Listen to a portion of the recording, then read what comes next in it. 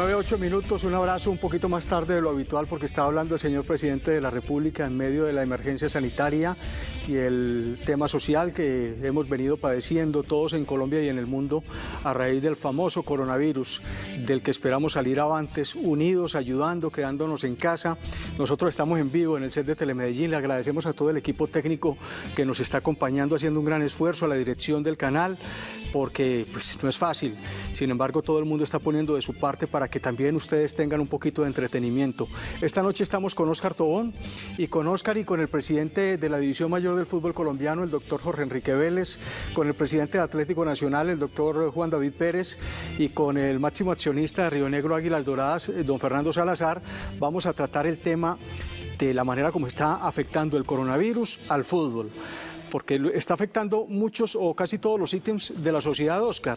Quizás con la excepción del tema de los alimentos, con el tema de, las farmacias, las farmacias eh, en fin, algunos temas específicos que no está afectando negativa sino positivamente, pero en términos generales, por ejemplo, el turismo, eh, por ejemplo, la educación se ven afectadas de una u otra manera y el fútbol como epicentro de nuestro programa y también de esta temática sí que está viviendo del tema. Un abrazo, Oscar, ¿cómo estás? Bienvenido. Mauricio, ¿qué tal? Solo para usted, para todos los compañeros, también para toda la gente acá que está de producción, un esfuerzo gigante que hace eh, todo el mundo.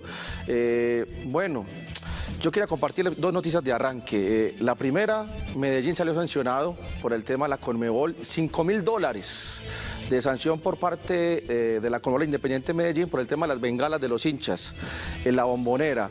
Y contarle también algo a los hinchas del Atlético Nacional.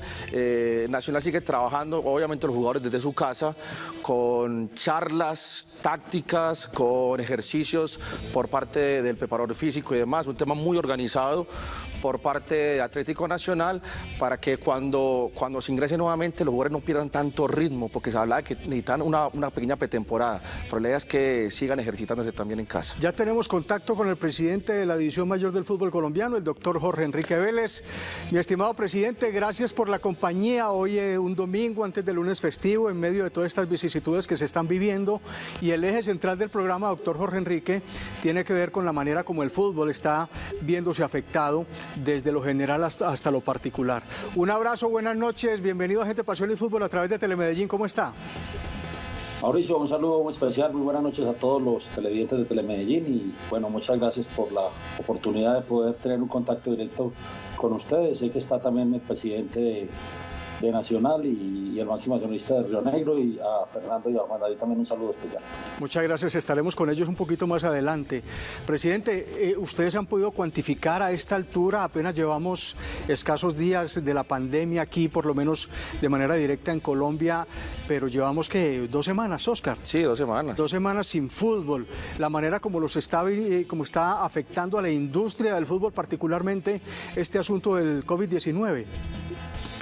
Uy, el perjuicio es grandísimo. Yo le he mandado a todos los equipos un cuestionario que seguramente me lo deben de responder el martes haciendo esas preguntas, pero la verdad yo tengo mucha preocupación, estoy muy preocupado con lo que pueda pasar no solamente en el fútbol, en muchas en todas las industrias, porque esto es una situación bastante complicada, pero pero la verdad es que nosotros hemos dado una prioridad de la vida, primero la vida de nuestros jugadores, primero la vida y la salud de los jugadores y los que de alguna forma directa o indirectamente tienen que ver con el fútbol y yo creo que después nos deberíamos preocupar por el tema económico. Yo creo que es fundamental, pero yo creo que hoy la prioridad es la vida y en eso tenemos que estar unidos todos los colombianos como está unido el mundo en este sentido. Así como hay de incertidumbre, Oscar, doctor Jorge Enrique y televidentes, en el comienzo de todos los campeonatos, en un mes el Comité Olímpico Internacional decide si realiza o no los Juegos Olímpicos, es muy probable que no lo vaya a cumplir en el mes de julio como estaba establecido.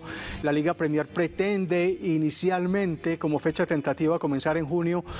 A ustedes por la cabeza, dentro de todos los ejercicios, de las miradas para todos los lados, eh, ¿se, les, ¿se les ocurre algo o es demasiado prematuro? No, sería una irresponsabilidad. Nosotros tenemos, dijimos no antes del 13 de abril, un poquito para que los equipos pudieran tomar determinaciones, los preparadores físicos, los técnicos, los presidentes, pero la verdad yo, yo no quiero ser irresponsable. Nosotros tenemos que mirar día a día lo que esté pasando. Mire, esto cambia la historia día a día. y hoy acabo de oír al presidente y ya está hablando de seis o siete meses de que vamos a tener consecuencias en este sentido. Entonces, cualquier cosa que digamos hoy es irresponsable. Yo creo que en la medida que vamos avanzando y, como estén las situaciones, pues tomaremos determinaciones. Nosotros estamos haciendo una reunión virtual con todos los presidentes semanalmente. Estamos analizando la situación, cómo va, cómo va avanzando, pero yo creería que, que yo no soy muy positivo todavía y que vamos a tener, tener una fecha clara para reiniciar el campeonato. Presidente, obviamente usted ha dicho que el tema principal eh, es la vida y si comparamos nuestro continente, sobre todo el fútbol colombiano con el, eh, con el europeo, vemos como en Europa muchos jugadores están, están contagiados por el tema del COVID-19. Creo que en Colombia no hay ningún caso del buen jugador colombiano. Yo creo que eso da eh, una, pequeña tranquilidad, al menos para el fútbol. Y yo sé que usted no, acá no puede hablar de, fecha, ni de tema, ni demás. Creemos que esto va más largo de lo presupuestado del, 13 de abril, pero por la casa le, le le ha pasado de pronto cuando ya el pico baje, esté todo más calmado, reanudar eh, a puerta cerrada, eh, jugar solamente un torneo? ¿Qué le pasa por la cabeza, presidente? A ver, lo primero yo quiero felicitar a los, a los, a los equipos, a los presidentes, a los grupos médicos de los equipos. Mire, la responsabilidad como trabajamos, la decisión que tomaron los presidentes la semana antepasada, nosotros fuimos la primera liga del Cono Sur que tomamos la determinación de parar. Inmediatamente nosotros paramos, siguió Perú y siguió Chile y siguió Argentina, pero nosotros primero pensamos en la vida de los jugadores. Eh, ¿cuándo, ¿Cuándo arrancar? Mire, ¿qué tipo de torneo? Bueno, ya está definido, vamos a seguir el mismo torneo que teníamos, ese ya se votó. Yo tengo obviamente muy planificado, eh, digamos por fecha, si no arrancamos el, el, 13, ¿cómo arrancamos el 24? Si arrancamos el 1 de mayo o si arrancamos 15 de mayo. Obviamente yo no quiero tocar esos temas porque me parece que, que no, no es un tema de responsabilidad. Primero pensemos de verdad en la vida de los jugadores y después ya miraremos lo otro. Pero todo está planificado. La semana pasada con todo mi equipo lo que hice fue planificar todo lo que pudiera pasar hacia adelante y seguramente esta semana ya con las circunstancias que están pasando pues volveremos a estar planificando y tener un contacto directo con todos los 36 presidentes a ver qué decisiones vamos a tomar. Planificar en medio de la incertidumbre, la verdad es que es bastante complejo, bastante difícil. El saludo cordial también para don Fernando Salazar, eh, representante de los accionistas, el mayor accionista de Río Negro Águilas Doradas. Un abrazo grande, ¿cómo está? Y bienvenido a Gente Pasión y Fútbol. Se, se cayó la comunicación precisamente en este instante. Planificar dentro de la incertidumbre, pues la verdad es que es, es un tema bastante complejo. Pero, presidente, si ustedes tienen dificultades, imagínense ustedes lo que son los venteros, los representantes de los venteros, la gente que tiene su negocio, los que venden banderas, los que hacen sus empanadas, sus chusitos en los diferentes estadios del país. Vamos a presentar esta nota con el representante de los venteros, Oscar, porque yo creo que ellos también tienen que tener voz en medio de estas dificultades, de estas vicisitudes que todo el mundo está viviendo, incluyendo el periodismo deportivo, porque no se puede negar que en muchos casos el periodista independiente vive de los cupos que vende, de los cupos publicitarios. Ah, ah. Cuando están vinculados con grandes empresas, tienen salarios con empresas, pero cuando no lo están, el pobre periodista vive vender un cupito en 300, 400, 500 mil, un millón de pesos en el, mejor de los casos. Así que este programa también tiene un poco ese énfasis social, porque igual hay muchos colegas que se ven perjudicados. A eso súmale la gente de logística, a los árbitros, a la gente de producción de televisión, o sea, una cantidad de gente que vive el tema del fútbol. Y por eso vamos a presentar a Ever Restrepo, es el presidente de la Asociación de Venteros y Arrendatarios del Estadio Atanasio Girardot. Después de un mal año 2019, donde los equipos de la capital antioqueña no clasificaron a las finales de dichos torneos, nuestras esperanzas estaban puestas en el año 2020. Nuestras esperanzas se van al traste cuando se decreta la emergencia sanitaria por causa del coronavirus y emergencia ambiental, lo cual conlleva a la suspensión de los eventos de asistencia masiva de público y cierre de escenarios deportivos poniendo en una difícil situación económica, ya que solo vivimos de esta labor. El promedio de edad de los venteros de la Unidad Deportiva Atanasio Girardot es de 66 años. Personas que llevan más de 40 años laborando en dicho escenario. Personas de bajos recursos económicos que derivan su sustento de las ventas en este lugar para sostener a aproximadamente 500 familias que dependen de esta labor.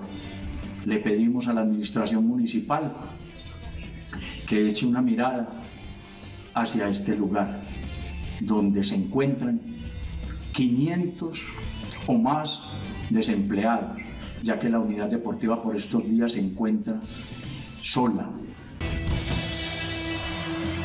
Doctor Jorge Enrique, no sé si alcanzó, pero es, una, es un drama que viven las familias de los venteros. Ya decía nuestro invitado, la gran mayoría son gente de avanzada edad que dependen única y exclusivamente de ese sustento.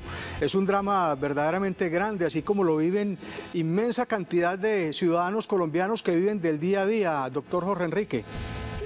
Usted no sabe que esa fuera de las preocupaciones más grandes que hemos tenido nosotros cuando hicimos la reunión con los presidentes.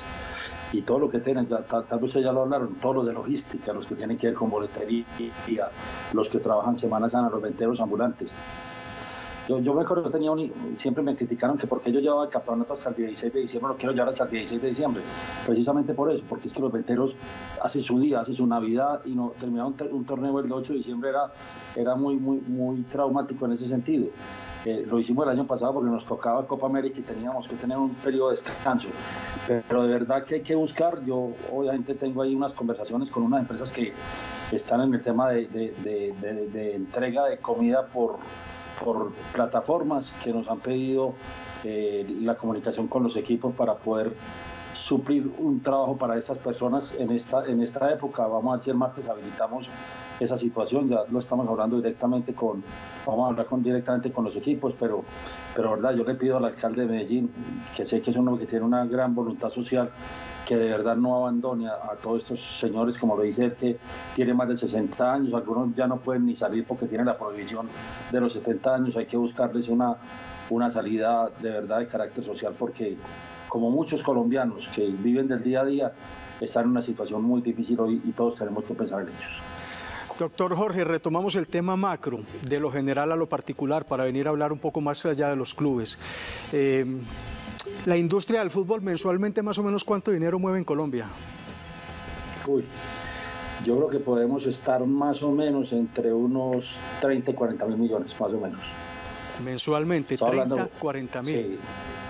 Sí, más o menos. Es decir, estoy hablando de todo lo que tiene que ver taquilla y todo lo que tiene que ver patrocinio y todo lo que tiene que ver televisión y lo que tiene. Esto es un, esto mueve demasiado. Es que, es decir, en solo jugadores, en solo jugadores, más o menos estamos entre 1.500 y 1.400 jugadores, o 1.500. Esto, y estoy hablando solo del fútbol profesional. Pero si usted le va a preguntar ahora Fernando, le pregunta a Juan David, Obviamente ellos tienen todo lo que no es profesional, pero tienen desde sub 15, sub 17, sub 20, todas son unas organizaciones que tienen unos costos altísimos y obviamente tienen unas inversiones altísimas, que eso también hay que tenerlo en cuenta cuando uno va a valorizar las pérdidas que, que va a tener el fútbol colombiano en esta, en esta situación que estamos viviendo en este momento. Se pregunta uno, Oscar, ¿se les cortó el chorro, por decirlo muy prosaicamente, de manera muy paisa? Sin embargo, siguen, tienen que seguir cumpliendo con los jugadores. Eh, el tema de televisión, el tema de, los patrocinios, son temas muy delicados que creo que vale la pena que tratemos con el presidente de la División Mayor del Fútbol Colombiano. Ese es el tema eh, que, están más preocupados los equipos, eh, presidente, porque obviamente eh, tienen que seguir pagando las nóminas a los equipos profesionales, no les va a entrar la plata de, las taquillas, no les va a entrar la plata a mitad de año de, de las posibles ventas de jugadores, el tema que usted hablaba, el tema de mercadeo, venta de camisetas, o sea, una infinidad de entradas que tienen los equipos y creo que las van a tener. La I mayor, eh, ¿qué va a hacer presidente para poder subsanar de alguna manera a, los equipos para que le puedan cumplir a los jugadores? Eso es un tema que yo sé que no lo puede tocar los equipos, pero lo voy a tocar yo. Y lo toqué esta mañana, tal vez salió en un periódico de Cali. Eh, yo estoy muy preocupado y, yo no estoy hablando del jugador que gana entre 1 y 6 o 5 o 10 millones de pesos. Estoy hablando del jugador que gana en Colombia. Hay jugadores que ganan más de 100 millones, ganan más que cualquier presidente, cualquier compañía. Y yo lo que he dicho es que tenemos que hacer una reflexión. Todos estamos en la casa, de alguna forma, ¿por qué no pensar en que se pague una parte del salario ahora y cuando retomemos el campeonato se les pague el resto del dinero, porque es que los equipos no tienen. A mí, ¿sabe qué me preocupa? Que en dos o tres meses es que no tengamos ni con siquiera con qué pagarle a ningún jugador si las circunstancias siguen así. Entonces yo creo que esto es un esfuerzo de todos, un esfuerzo en la mayor, la mayor va a hacer los esfuerzos que le correspondan. Obviamente los equipos están haciendo un esfuerzo grandísimo, grandísimo. Es que no tienen absoluta ningún ingreso y están cumpliendo con todos los trabajadores, con todos los empleados, con los empleados, incluyendo a los jugadores. Pero yo creo que tiene que haber una reflexión por parte de todos si todos no aportamos algo para esta situación, yo tengo que decirles que a mí me preocupa mucho lo que pueda pasar en, en, uno o dos meses. Hay equipos que no van a aguantar. La situación de los equipos en Colombia económicamente es gravísima, es gravísima. Y los ingresos están claros que son publicidad. Y a la mayoría de los equipos, y seguro van a preguntar ustedes a, a Fernando y a Juan David, ya los, los patrocinadores le dijeron, mientras que no, no, no, tengamos efectivo el campeonato, nosotros no vamos a pagar más publicidad. Y es obvio, no, no hay un proceso de la camiseta, ni las vallas en los estadios, ni toda esa situación. Pero tampoco van a vender merchandising, no van a vender camisetas, pero tampoco va a haber taquilla. Digamos que posiblemente lo único son los ingresos de la mayor, pero es que los equipos, estos equipos no viven de los ingresos de la mayor, que será lo único que podamos por lo menos sostener unos dos o tres meses. Yo no sé tres meses qué podamos hacer, pero digamos que por ahora, pero con eso no se sostienen las nóminas de los equipos. Así que yo creo que es un llamado a todos, todos, y lo hacemos desde la cabeza, desde el presidente de la I mayor para abajo. Tenemos que hacer una reflexión, cómo ayudamos para que de verdad no vamos a acabar con, con este proceso. Y, yo sé que yo no lo puedo hacer, pero sí lo puedo hacer yo y les hago un llamado de, de que entiendan los jugadores. Miren, eh, yo voy a que, es que les van a cancelar los contratos. Aquí nadie está hablando de cancelar contratos, aquí nadie está hablando de eso porque creo que ese no es el camino. Pero que sí tengan la reflexión de pensar, oiga, yo este mes no voy a necesitar tres pesos, puedan necesitar uno y medio y después yo cuadro con el equipo y pagamos el resto. Yo creo que esa es un, una labor que deberíamos empezar de verdad a reflexionar todos en ese sentido. Pro sacó esta semana un comunicado precisamente exteriorizando que no está de acuerdo con, con la disminución de los salarios. Digamos que quizás no ha dimensionado la realidad de las cosas que se están viendo apenas ahora, pero no ha, no ha, no ha ido en prospectiva sobre lo que puede pasar con la industria del fútbol. Miremos un poquito el comunicado para hacer un par de reflexiones sobre el partido particular, Oscar. Sí, señor, el comunicado a Pro hemos recibido información de que algunos presidentes de clubes están presionando a los futbolistas para que acepten modificar sus contratos y así rebajar sus salarios. ¿Usted sabe si esto se ha presentado, mi estimado señor presidente? Le preguntamos después de, esta, de este párrafo adicional. Además, este año los clubes ya, ya tenían presupuestado que no tendrían ingresos por taquilla desde el mes de mayo por la realización de la Copa América, lo que significaría un periodo de inactividad de dos meses. ¿Van a buscar ustedes algún acercamiento con Pro para tratar de llegar a un acuerdo? ¿Van a buscar una mediación del gobierno? Porque, porque es que la realidad de lo que se está viviendo es para todos. Mira, el tema de las relaciones con el fútbol, no, la del mayor no tiene ninguna relación ni puede tener ninguna relación con ellos porque nosotros no somos eh, laboralmente... Bueno, pero a través de la federación. Tampoco, ni de la federación ni de la del mayor. Esa es una relación que está directamente entre los, entre los equipos y los jugadores. Segundo, yo quiero decirle, y lo van a preguntar, a ningún jugador se le ha dicho eso. Y le voy a decir, y jurídicamente se podría hacer, pero yo he visto la responsabilidad social de los equipos y, creo que todos están hablando con, sus jugadores. Pero yo tengo el concepto que si quisiéramos suspender los contratos, se puede suspender los contratos, por eso no se va a hacer. Entonces yo lo que creo es que uno no puede ser oportunista en este proceso. Aquí lo que hay que hacer es cómo trabajamos todos juntos, cómo hacemos una labor todos para salvar el fútbol y no obviamente empezar a utilizar obviamente el oportunismo que es normal en estas situaciones, pero yo le puedo decir con toda tranquilidad, eh, a, un presidente del equipo que era que los iba a sacar. No, él lo que estaba diciendo es cómo hago para suspender parte del pago para pagarlo después porque no tengo la liquidez para hacerlo. Usted, yo no tengo una fábrica de billetes para poderlo hacer. Y que nosotros íbamos hasta mayo. No, no, nosotros íbamos hasta el 22 de mayo. Hasta el 22 de mayo el campeonato, o sea, abril y mayo. Los equipos no van a entender y yo soy mayo. Yo creo que, eh, yo creo que hay hay, hay que ser esto no es de, pelea, vuelvo y lo repito, y menos en este momento salir a pelear. En este momento, ¿qué hacemos entre todos? Y lo que está haciendo este Mauricio, lo que acabamos de hablar con los venteros ambulantes, lo que está pasando con los jugadores. Si nosotros no pensamos todos juntos en este proceso, cómo salvar el fútbol, pues obviamente va a ser muy, muy difícil. Y la materia prima fundamental son los jugadores. Y yo estoy, con, yo estoy seguro que la mayoría de los jugadores también están pensando y reflexionando como lo estamos haciendo nosotros aquí, de que tenemos que buscar es cómo salvar el fútbol, porque de pronto lo que hacemos es que nos quedamos sin fútbol. Bueno, tres minuticos finales con el presidente Sí. Mayor para venir con otros Mire, invitados. No, no sé, Mauro, presidente, una pequeña iniciativa. Yo no sé si Mauro se va a sumar a esta iniciativa, pero, presidente, acá tenemos jugadores que ganan desde 300, 400 millones mensuales a tenemos jugadores que se ganan eh, el mínimo en Colombia. Entonces, no sé, me parece muy importante que... Hay que cuidar a los que ganan menos. Exactamente. Así la- más claro. sean la, iniciativa es que se le cumpla primero a estos que ganan poco, el mínimo, un millón de pesos, y que ya después los que ganan 300, 400, que ganan mucho dinero, se le cumplan después paulatinamente cuando todo vuelva a la normalidad. o se les cumpla parcialmente y se pueda negociar hacia futuro. Ver, ustedes necesitan, listo, no hay ningún problema, pero ayudarnos todos, porque es que esa es la ayuda para poder continuar el proceso. Y aquí no se le va a negar el pago a nadie. Es que, es que no hay ninguna posibilidad de negarlo, porque es que eso es un derecho laboral que tienen ellos como, como, como trabajadores o como empleados, como empleados del fútbol. Pero yo creo que ese es, el, ese es el sentido. No estamos hablando de que está ganando poco y el que tiene que mercar y que tiene que hacer. Estamos hablando del que gana mucho y que puede pensar en sus compañeros y sabe qué, voy a hacer la reflexión. Yo no necesito todo esto ahora. Con esto ayuda a que el equipo le pueda pagar a los otros y más bien un arreglo con el presidente, con el gerente de cada equipo, como después de que iniciemos el torneo vamos pagando esos dineros. Presidente, muy rápido, Betplay le paga al fútbol colombiano por año 12 mil millones de pesos. ¿Algo les han comunicado a ustedes por la falta de exposición, por el hecho de que no se está disputando el torneo, de que se suspende el pago, de que se aplaza, algo así por el estilo? ¿Y cómo está el tema con la televisión también? Con televisión bien, Win ha sido muy responsable, la verdad no, no, yo no he tenido ninguna, nada, na- yo hablé con todos los, ah, cuando, cuando tomamos la determinación, inmediatamente yo me quedé trabajando con, con todos los proveedores nuestros y con todos vamos a llegar a acuerdos, pero obviamente siempre pensando en el fútbol. Mire, yo le voy a decir, el esfuerzo que está haciendo Win, el esfuerzo que está haciendo eh, Betplay, el esfuerzo que está haciendo Bavari, perdone que dar los nombres, pero yo también tengo que respaldar, Golti, que son nuestros, eh, digamos, patrocinadores, es- es- ese es esencial.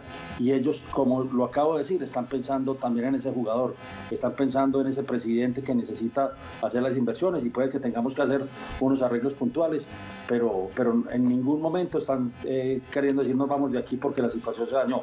No, siempre con una gran responsabilidad, no solamente en el contrato, sino una gran responsabilidad social con todos los jugadores y con lo que tiene que ver con el fútbol. Un abrazo, doctor Jorge Enrique, muchas gracias y pues que entre todos aporten, pongan su granito de arena porque el fútbol es muy importante para la sociedad colombiana. Mauricio, feliz noche a todos y a todos los medellinenses y obviamente a Fernando y a Juan David un saludo y una noche muy especial para todos. Muchas gracias. Muchas gracias al presidente de la División Mayor del Fútbol Colombiano, el doctor Jorge Enrique Vélez, muy diferente con nuestro programa. Vamos a ir con eh, el doctor Juan David Pérez, presidente nacional en instantes, con eh, don Fernando Salazar, el máximo accionista de Río Negro Águilas Doradas también. Inmediatamente vamos a tratar de tenerlos de manera simultánea, pero antes, con coordinadora que re- recoge y entrega contrarreloj y sigue trabajando coordinadora a pesar de la cuarentena que se está viviendo con coordinadora. Así suena el carro de coordinadora cuando llega a su barrio, a su casa u oficina.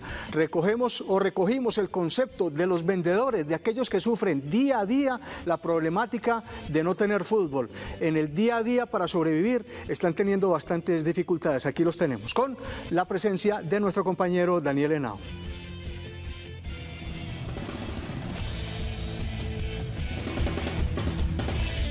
Desolador.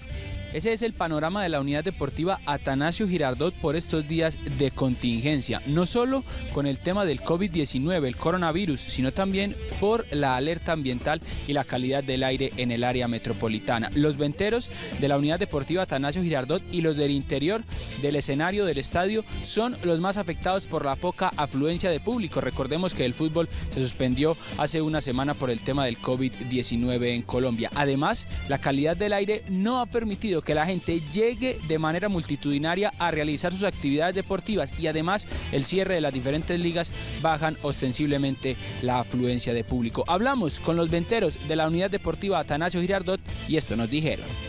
Eso ha afectado mucho la, la cerrada de las ligas, todo. Ya no viene la gente a hacer deporte acá, ya no bajan por acá. Entonces, no sabemos qué hacer. Muchos compañeros también cerraron. Compañeros, sí, ya cerraron muchos también de... Hoy nada menos tenemos que ir. Ya no queremos, tenemos que cerrar esto. espera esta nueva orden? Eh, aquí estamos cerrando esto porque es que aquí las ventas se, se, fueron aguajadas directamente y aquí estamos aguantando hambre, hermano. Pues no hay venta, aquí la gente pues no viene ni, por ejemplo, esa enfermedad que vino, hermano, y estamos llevados del puta. Yo llevo desolado ya una semana. La gente pues está muy preocupada por la situación y obviamente pues muy pocos salen a las calles a comprar y más con la medida que tomaron, pues creo que es una buena solución pues al momento. Yo vivo de este negocio que, que es lo único que tengo y, absolutamente para nada nos ha servido de días para acá. Primero que el, tema de la, del ambiental, ahora ya que el coronavirus y, tampoco han, habido pues como de entrar aquí para nada, entonces nosotros estamos aquí fracasados. No sabemos sinceramente qué es lo que vamos a hacer. Miren todo esto como están, miren estos puestos para arriba, para abajo, era todo vacío, aquí no viene nadie. Y, está muy bien que por el coronavirus pues todos tenemos que aportar algo. Pero entonces yo digo pues que, el, municipio también debe aportar algo, la alcaldía debe aportar algo también con nosotros. Mirar los, la gente pobre, la necesidad de la gente, que es que verdaderamente no tenemos más de qué vivir, sino de esto y a, ver, a verlas de entrar. Si venimos a perder antes nuestra plata, todo el tiempo, la plata, todo, porque, porque las cosas perseveran, estos son productos perseveros, no se pierde. En Coordinadora recogemos y entregamos tus envíos contra reloj. Solicita tu recogida sin costo adicional.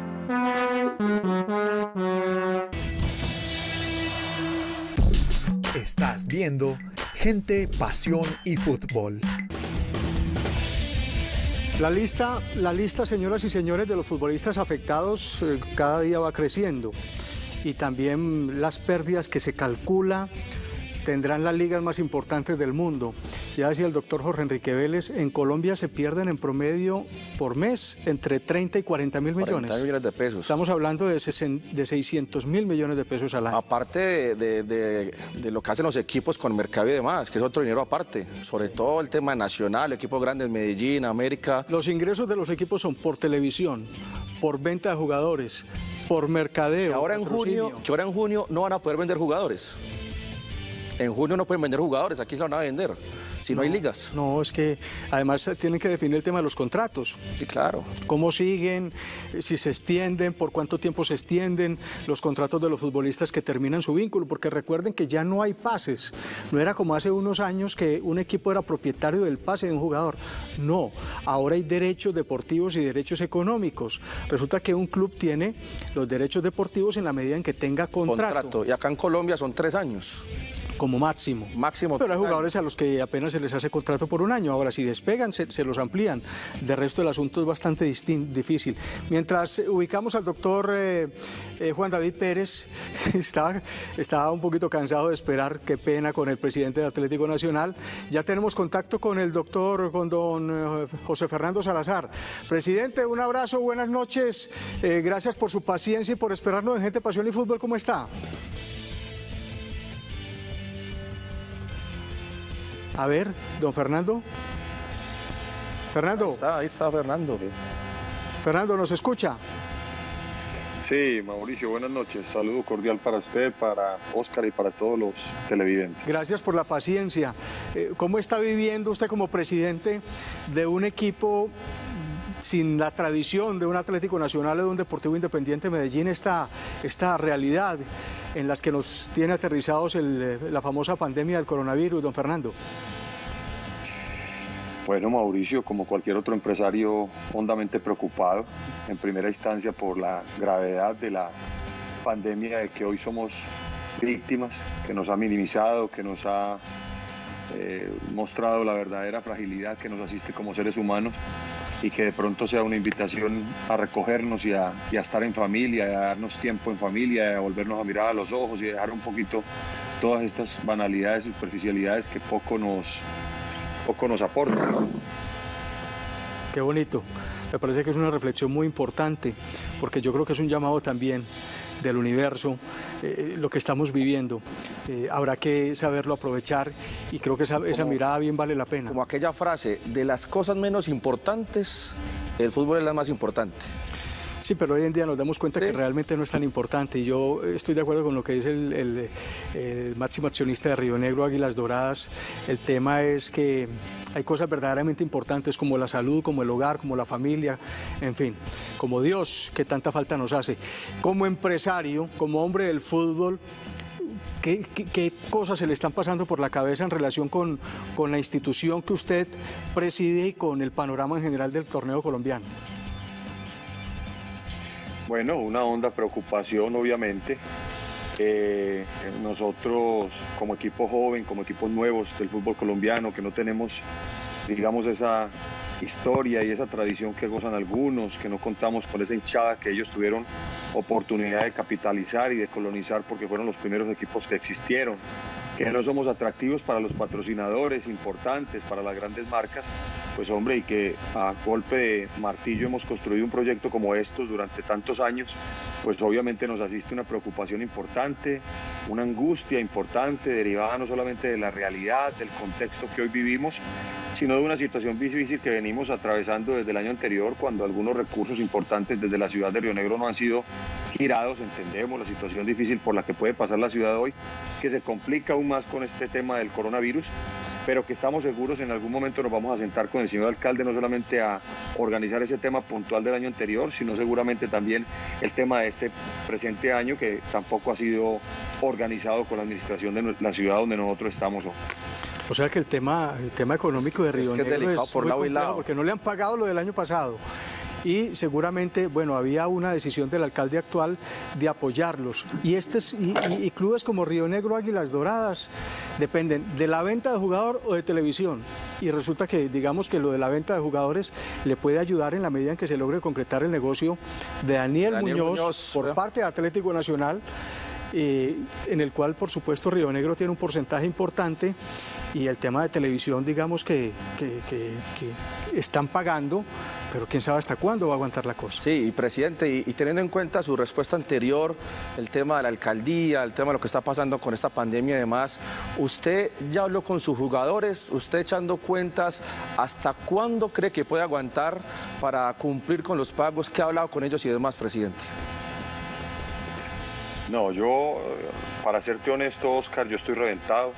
Se lo he manifestado a los jugadores que hace unos días iban a parar y les pedí el favor derivado de una conversación telefónica que tuvo mi hermana, nuestra presidente, con el alcalde de la ciudad de Río Negro, el doctor Rodrigo Hernández, que nos iban a cumplir con los dineros previstos desde el año anterior, un 60-70% que se adeuda del contrato del año anterior y que íbamos a finiquitar el tema de este año. Afortunadamente nosotros tenemos grandes profesionales, tenemos unos buenos elementos, unos muy buenos seres humanos eh, con los cuales he tenido diálogo en particular con algunos de ellos, con nuestro a Dalí, nuestro líder especial Aldo Leao, con los otros jugadores, tenemos a nuestro capitán eterno Choronta Restrepo, que ha sido, digamos, una plataforma para tener un diálogo con ellos importante, proactivo. Ellos son conscientes de la situación de la institución, ellos son conscientes de la situación de este servidor, ellos son conscientes y conocedores del drama que vivimos con el tema de los recursos que están pendientes de la ciudad de Río Negro, de lo que no se ha firmado este año pero ellos están tranquilos a la espera de que nosotros podamos resolver y seguramente estarán dispuestos, como lo han manifestado, a sentarse, a dialogar, a buscar opciones que nos permitan que los equipos como el nuestro, que las empresas como la nuestra, una empresa que es particular, pero que pues, obviamente hace un trabajo importante de lo social a través de esas divisiones menores, a través de esos muchachos que gracias al balón de fútbol se olvidan de las esquinas, de los barrios, se olvidan de los vicios, se olvidan de la drogadicción, a esos niños que hemos tenido durante tanto tiempo en escuelas de fútbol. Y seguramente ellos están dispuestos a un diálogo importante y reparador, eh, disintiendo un poquito de lo que solicita la gremiación de que no haya diálogo, no, nosotros creemos que es importante, ellos han entendido el mensaje que yo les he dado, les he explicado con argumentos claros lo que pasó con empresas importantes de la ciudad como, como eh, Tejicóndor, como, como Tejido Leticia, como Coltejer, eh, y basado en eso, pues esas experiencias de esos sindicatos que exigían y exigían eh, sin tener un un, verdadero sentimiento de aprecio hacia su empresa, de gratitud y de valoración por lo que son las empresas, en especial las de fútbol como la nuestra, que como lo decía Mauricio claramente, los recursos de nosotros son la televisión, los recursos de nosotros puede ser una pequeña contribución que hagan los patrocinadores, en nuestro caso ni siquiera contamos con, con Colanta, que es el patrocinador que tantos años nos acompañó y que hoy infortunadamente para nosotros no sabemos por qué no está con nosotros y sí está con otros equipos del fútbol colombiano, incluso de regiones que no tienen nada que ver con Antioquia, Entonces, el panorama es bastante difícil, pero nosotros afortunadamente tenemos un diálogo muy cercano con nuestros jugadores. Ellos han entendido, antes que ser trabajadores, son nuestros colaboradores y ellos han entendido que esto lo construimos, esto lo sostenemos y esto lo mantenemos en el tiempo fuerte y sólido entre nosotros. Si alguno de nosotros eh, resquebraja, digamos, esa relación importante que hoy tenemos, pues seguramente esto no va a funcionar y al final 80 empleados directos que tiene Talento Dorado S.A. con su equipo de fútbol Águilas Doradas, eh, pues obviamente entrará en un proceso difícil y que a nadie le va a servir. Usted que hace parte de la Comisión de Mercadeo de la División Mayor del Fútbol Colombiano, ¿qué salidas le ve? ¿Ha conversado con algunos de sus colegas? Porque la crisis que se viene es grande, no solamente eh, para los clubes, sino para la, la Dimayor y el fútbol colombiano en general. Nosotros estamos muy preocupados. Aquellos que dirigen y que son presidentes de equipos de historia, equipos grandes, llamados grandes eh, y de tradición, están muy preocupados por lo que refería Oscar al principio del programa de que hay jugadores con unos salarios exorbitantes. Es que aquí lo que hay que entrar a revisar eh, no es el, jugador que se gana un salario mínimo o dos salarios mínimos. Así que lo que entrar a revisar es aquellos jugadores que tienen unos salarios importantes, que de todas maneras eso nos exime a nosotros de la responsabilidad que tenemos contraída con ellos laboralmente. Afortunadamente Talento Dorado en 11 años de existencia antes como Corporación Deportiva Ciudad de Itagüí, después cuando la transformación que exigió el gobierno una sociedad nueva como Talento Dorado, jamás han tenido un conflicto laboral. Siempre hemos sido muy cumplidores de nuestras obligaciones, de nuestras exigencias con todas las ideas del Estado y pues esta no va a ser la excepción. Eso obviamente nos tiene bastante preocupados, a mí en particular que soy el que lleva la carga. Yo siempre le he dicho a mis jugadores que tienen que vernos a nosotros los directivos no como refiriéndome a una frase... Como una caja registradora. No, no nos pueden ver como la vaca que hay que ordeñar, no nos pueden ver como el lobo que hay que acorralar, ni nos pueden ver como el enemigo que hay que asesinar. Nos tienen que ver es como el empresario que hace un esfuerzo importante, que durante muchos años construyó un proyecto con sumo esfuerzo. Ese proyecto va ligado obviamente de una administración. Nosotros tuvimos un apoyo importante en la ciudad de Itagüí en algún momento, lo hemos tenido en Río Negro durante cuatro años de cuenta del doctor Andrés Julián, para quien va mi gratitud eterna, y ahora esperamos tenerlo del alcalde eh, actual, eh, Rodrigo Hernández, porque pues, es fundamental para que un proyecto esto sobreviva y en primera división, con una cotación especial. En Colombia hay mil y pico de municipios, mil ciento y pico de municipios, de los cuales solamente 18 tienen fútbol pre primera división. En el caso de Río Negro, son dos ciudades no capitales, Río Negro y Envigado, las únicas que tienen fútbol profesional de primera división. Y obviamente, pues seguramente no estarán dispuestos a a lacerar más un proyecto de esto, sino que al contrario querrán sentarse con nosotros, dialogar con mi hermana y organizar el tema contractual del 2020, porque okay. pues si bien este tema del coronavirus es gravísimo y se vino en una época muy importante, pues también es importante ir dilucidando el camino para un equipo como el nuestro. ¿Cuánto, pueden, cuánto tiempo puede aguantar un equipo como Río Negro sostener la nómina sin fútbol, sin taquilla, sin, sin ingresos? No, esto no puede funcionar un solo día. Un solo día porque pues este equipo no, no tiene dineros oscuros detrás. Este equipo he sido yo el que lo he sostenido todo este tiempo. De hecho, pues fíjese, Mauricio, hay una cantidad de recursos pendientes del año anterior por cuenta de la administración de Río Negro y he sido yo quien afortunadamente he contado con el músculo para poder financiar el equipo y mi grupo familiar, pero llega un momento donde la pita se revienta y este es ese momento. ¿Por qué? Porque llevamos seis meses esperando unos recursos de Río Negro del año anterior, tres meses de este año y aún hoy no hemos firmado el contrato del 2020. Entonces, nosotros hicimos un presupuesto con base en unos compromisos pactados antes de empezar este año con nuestro querido alcalde Rodrigo Hernández, con quien nos sentamos en varias ocasiones, o en particular yo lo hice, y obviamente basado en eso hicimos un presupuesto que hemos manejado nosotros de la manera más austera en la búsqueda de conseguir los mejores resultados para la ciudad y que hoy, infortunadamente, pues nos preocupa por este tema tan grave de la pandemia del coronavirus. Muy bien, muchas gracias, don Fernando, muy amable. Gracias por su tiempo hoy domingo antes de festivo y bueno, que este tema se despeje para, eh, para el fútbol y en general para la sociedad. Habrá que pedirle al Altísimo. Obviamente, Mauricio, usted sabe que yo soy un hombre de profunda fe. Usted sabe que este camino de espiritualidad que cogí hace cerca de seis años me ha llevado a cambios importantes en mi vida, ya lo hablamos en algún momento, y obviamente esta no puede ser la excepción. Esto es un mensaje claro de Dios, que nos acerquemos, que estemos más pegados de él, que dejemos un poquito el esnovismo, dejemos un poquito el tema de modas, de las carteras Vuitton, de los BM, de los Mercedes parqueados en nuestros garajes y pensemos más en un tema de espiritualidad, de ayudar a los demás. Hoy cuántas personas que salen de rebusque a las esquinas en el país y en el mundo, hoy no tienen con qué comerse una libra de arroz o tomarse una agua de panela. Esa es mi gran preocupación, esa es mi gran tristeza. Eh, obviamente la preocupación grande de nuestra institución me asiste, pero también me asiste ese tema de, de nuestros compatriotas, de aquellos que todos los días salen a los semáforos, que creo que en Colombia son 7 millones de subempleados, que salen a los semáforos a vender minutos celular, a vender obleas, a vender eh, galletas, a vender eh, helados, a vender otras cosas. Hoy no pueden salir a trabajar, hoy no tienen dónde trabajar. Y la pregunta mía es, ¿cómo se acuesta? ¿Cómo lleva esa gente resistiendo una semana sin ingresos para poder concebir los alimentos necesarios para al menos el mínimo vital? Esa parte me preocupa y ahí es donde mis oraciones están encaminadas hoy a ese Dios del cielo y a esa Virgen que ha sido tan buena con nosotros siempre. Muchas gracias a don Fernando Salazar y sus reflexiones que son válidas para todos, señoras y señores. Eh, no, el contacto con el presidente nacional no es posible.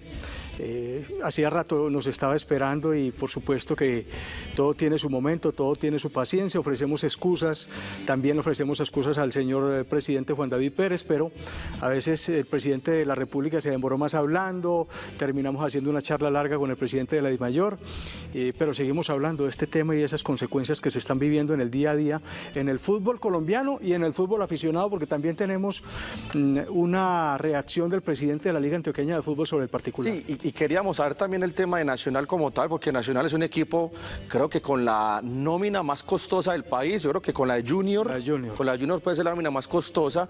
Digamos que Nacional tiene eh, algo muy grande, que, es para, que era para aplaudir al presidente, que fue el tema de ganarle el tema al Cortuluá, a Martán y demás, que se pasó de 5 millones, 6 millones y medio. Pasó de 20 mil millones 800 millones. A tan solo 190. Menos mal, porque si no... Claro que ya está- el dólar está, está A 4.000. está, está- o más, está altico. Eran 5 millones, 5 por Pero 4, 20 mil. Era para, es para aplaudir, 800 es mil, para aplaudir la 800 gestión de, de Juan David Pérez. Excelente lo que hizo, pero no deja preocupar, porque Nacional también vive el mercadeo, vende las taquillas, a eso súmele. Vea, es que mire- Medellín y Nacional tienen abonados, no pueden devolver dineros. Es que mire, Oscar, es que Río Negro no depende de taquillas, ni de mercadeo, depende de la televisión. A Río Negro le dan lo mismo que a Nacional por la televisión o que a Medellín. Sí. Y mire la diferencia del impacto que tiene los equipos tradicionales con equipos que no son tradicionales. Pero si no fuera por esa plata, equipos como Río Negro, como Envigado, no tendrían prácticamente de qué vivir. Eh, la gente del canal que tiene licenciados los derechos eh, hizo unos pagos y, y- y por eso están relativamente tranquilos, entre comillas. Pero Nacional, que depende eh, un 30% de sus taquillas, debe estar viviendo un momento mucho más complejo porque los salarios en Nacional son mucho más Claro. altos o en el Medellín de lo que son los salarios en Río Negro, Águilas Doradas o en el Envigado. A eso súmele, Mauricio, que, mire, Nacional tiene más de 20 mil abonados. Medellín tiene 15 mil en Liga y tiene más de 15 mil también en Copa Libertadores. Si los partidos no se juegan o se juegan a puerta cerrada, aparte de no recibir plata, tienen que devolver dinero, que es más preocupante también. Yo no sé cómo lo van a hacer, no sé cómo lo van a hacer, pero en general, no solamente el fútbol, como, como lo decíamos al comienzo, sino que en casi todas las facetas de la vida diaria, todo el mundo está sufriendo, pero sobre todo los más necesitados, los que tienen que salir a vender su chancecito, los que tienen que salir a vender su bomboncito, su chiclecito, esa pobre gente, ¿cómo está haciendo? Ellos, ellos sí que tienen verdaderamente un problema, nosotros simplemente nos quejamos. El presidente de la Liga Antioqueña de Fútbol, eh, Jaime, ¿Jaime qué? Jaime Herrera. Jaime Herrera, Herrera. nuestro colega, nuestro compañero, que trabajó muchos años en el periódico El Colombiano, nos cuenta lo que están viviendo también, no solo por la falta de programación, sino en el manejo en general de la liga que se ve afectada por esta situación. La Liga Antioqueña de Fútbol se suma a las medidas de prevención y empezamos con el cierre de la parte administrativa entre el 20 de, de marzo y el 20 de, de abril. ¿Para qué? Para prevenir los contagios de la emergencia sanitaria, para trabajar desde la casa en algunos eh, proyectos y en algunos procesos, porque la idea es que no se pare todo, pero tampoco arriesgar a los empleados de la liga. En la parte deportiva, con toda esta parálisis que llevamos ya primero por la emergencia ambiental y ahorita con la emergencia sanitaria, la liga tuvo que parar los procesos de los torneos departamentales, de las selecciones, de, los, de las escuelas de fútbol y algunas alianzas que teníamos con algunos municipios de otros proyectos. Esto económicamente significa también decir perder o dejar de percibir algunos recursos, especialmente con la exposición de la marca con Colanta, que es un mes muerto para ellos y andan un poco preocupados y tienen razón. Igual la liga tiene que responder por la nómina de los empleados durante todo este tiempo, entonces esperamos de que luego las medidas que adopte el gobierno favorezcan no solamente a las ligas departamentales, sino a las distintas empresas que están respondiendo por los empleados apoyados en la emergencia sanitaria. Pasamos de la liga antioqueña a las ligas internacionales. Mire, las pérdidas estimadas por la Bundesliga alemana por este tema del coronavirus va, eh, van entre 705 y 814 millones de dólares. Todo lo pusimos en dólares. La Liga Española tiene una pérdida estimada entre 868, 866 y 1031, 1031 millones de dólares. Sí, señor. Seguimos con la liga francesa. La, la, francesa, pérdidas entre 325 y 434 millones de dólares. Lo que pasa es que la economía en Europa es, por supuesto, mucho más grande, pero mire las pérdidas estimadas en la Liga Premier Inglesa, entre 1.210 y 1.340 millones de dólares, una barbaridad. Esta es la Serie A, la Serie italiana, entre 597 y 705 millones de dólares. Pero, pero mire, Mauro, también en Europa se ha visto que los jugadores o los equipos se, se han metido la mano al bolsillo para colaborar. Por ejemplo, la selección alemana recogió 2.5 millones de euros para toda esta problemática. Lewandowski con su esposa aportaron un millón y Goretzka y Joshua Kimmich otro millón de euros. El Lorenzo Insigne, el capitán de, del Napoli, Nápoles. ese donó 100 mil euros. Lo mismo que Lukaku. El Lukaku, Sadio Mané, 50 mil a, a, su país, a Senegal. El Chelsea se dio su hotel para que sea también un estilo de hospital y demás. El español de Barcelona eh, donó 6 mil tapabocas, 6 mil mascarillas para, para, la gente en total. Y es Latan Ibrahimovic, que a través de las redes sociales ha hecho algunas campañas y han recogido más de 100 mil euros también. Hombre, eh, aquí por lo pronto mutis por el foro, nadie dice nada particularmente en la industria del fútbol. Hay unos que tienen y otros a los que les queda muy difícil, pero qué bueno que ciertos jugadores que ganan mucho dinero ayudaran un poquito. Claro que la Biblia dice, cuando tu mano izquierda da, que no se entere la mano derecha. Pero sí es bueno por lo menos que a Colfutpro, aparte de protestar y de defender los intereses de los jugadores, ayude también como agremiación, digamos, a los jugadores que, ganan menos o, que hagan una colecta para ayudarle también a los, más necesitados en esta sociedad. Pero aquí nosotros somos muy faltos de solidaridad en, en muchos casos y, y ni los clubes, la federación que recibe todo esa millonada. Todos los años recibe millones, millones y millones. Es una empresa privada, nadie la audita. Seguramente ellos, ellos sí tendrán alguna auditoría interna, pero nadie sabe cuántos millones realmente ingresan. Qué bueno que también participaran como algunos bancos que nunca socializan las ganancias, sino que socializan las pérdidas y le ayuden realmente a la gente que más lo necesita. Bueno, vamos con, o sea, mire, otro sector que está muy perjudicado es el sector, ya hablamos de los venteros fuera dentro del estadio, los del obelisco, los de la 70, porque la gente cuando sale del estadio se iba para, para esos locales a tomarse su cervecita, su aguardiente y demás, y ellos también dependían mucho del fútbol. Esto nos contaron eh, estas agremiaciones en la 70, el obelisco y demás, de la problemática que viven después de esta para del fútbol profesional colombiano es un tema muy complejo. Las ventas bajaron al 0%, porque si no hay turistas, eh, no tenemos visitantes, pues lógicamente tanto las discotecas como los hoteles y los restaurantes se ven afectados. Y qué decir más, eh, la gente que vive el día a día, de verdad que, mejor dicho, si no se mueren de gripa, se mueren de hambre. Entonces, invitación especial, hombre, para eh, las entidades gubernamentales que se pongan la mano en el corazón, para los empresarios también, que le puedan colaborar a esta gente. De verdad, poderlos subsidiar o, eh, o darles una ayuda económica. Pero también que todos los gobernantes sean muy concretos a la hora de gestionar ayudas con los bancos, con toda esa gente que realmente puede aportarle y puede ayudar a todo el pueblo colombiano en esta situación. Jugadores eh, que tienen que han dado positivo por el coronavirus, eh, Matuidi, el francés. Este es quién, hombre? Este es Hudson. Hudson del Chelsea. Del Chelsea. Daniel Maldini del Milan, con también El hijo, el, hijo de Paolo. Y Maldini también. Rugani de la Juventus. De la Juventus hay tres. Pero ya Cristiano le hicieron la prueba y salió negativo. Mangala, del Valencia. El zaguero central que pasara central. por el eh, fútbol español. Ezequiel Garay, que en el Valencia son varios. Son siete. Germán Pasela, Pesela, Pesela. de la Fiorentina. Ahora también salió eh, Dybala, este es José, eh, José Luis eh, Gaya, Gaya, Gaya, el francés. de- del Valencia. Matuidi, eh, perdón, Fellaini. Fellaini. Fellaini. Lo que pasa es que sin afro no se Es reconoce. que mire, ahora Dybala, que ese fue, ese fue el último que salió. Este Paolo Dybala de la Juventus. En el, el fútbol italiano y el fútbol español es donde más jugadores infectados hay. Nosotros nos vamos, termina el tiempo de Gente, Pasión y Fútbol. Les agradecemos su sintonía.